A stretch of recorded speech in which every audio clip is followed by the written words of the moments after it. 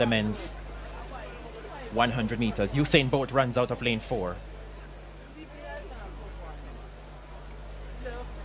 Set, and away they go. Bolt didn't get the most uh, brilliant start to the field, but now he begins to come forward. Minzie's running a big race at this stage. Usain Bolt steps forward now. It's Bolt. Very, very close indeed. Looks like Bolt from Givans. Minzie was right in there for a share as well. 10.05 the flash time.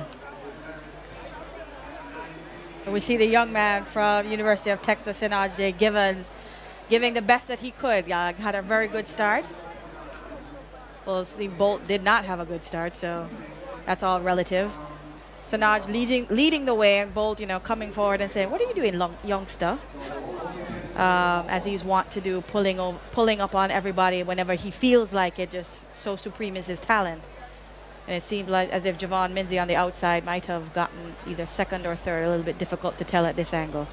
Yes, very tight, but could have been Senoj-Jay Givans that held on for second. Yes, indeed, in 10.05. And Minzie will be credited with third.